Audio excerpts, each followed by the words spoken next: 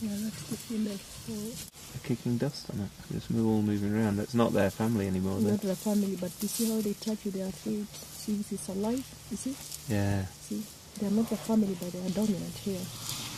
LBs is a big group, although HBs and LB they come from one area, but it's a big family. And Aliana, she's a big female. She's old now compared to Hope.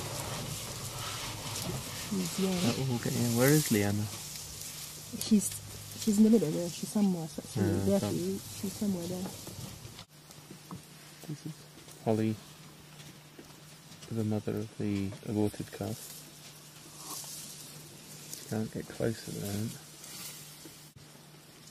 Liana on the right with the long tusks chasing Holly, the female who lost the calf.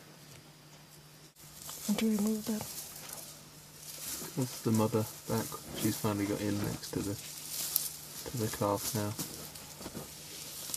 He keeps trying to touch it and move it.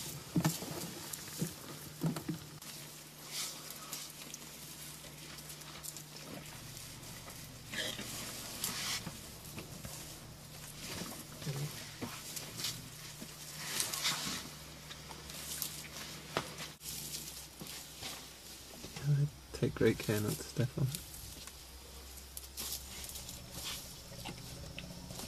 She's rumbling to it the whole time.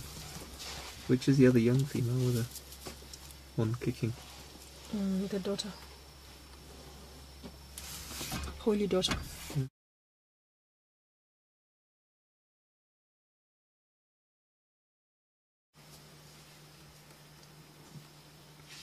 Katito just saw the sex of the baby, think it's a little male.